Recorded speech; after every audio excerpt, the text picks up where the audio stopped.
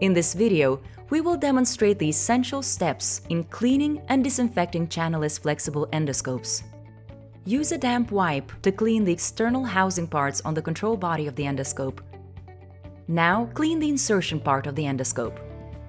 Take a clean fresh wipe and inspect the cable that connects the endoscope to the processor. Although the risk of leaks in flexible channelless endoscopes is small, a leak test needs to be performed to identify possible leaks and any possible fluid invasion. Scan your personal badge on the endoscope to track the disinfection process. Place the endoscope in the UV Smart D60. Once the endoscope has been placed correctly, the door can be closed. The 60 second disinfection process will then start automatically. Once the disinfection cycle has finished, scan your personal badge. With clean hands, carefully remove the endoscope from the UV Smart D60.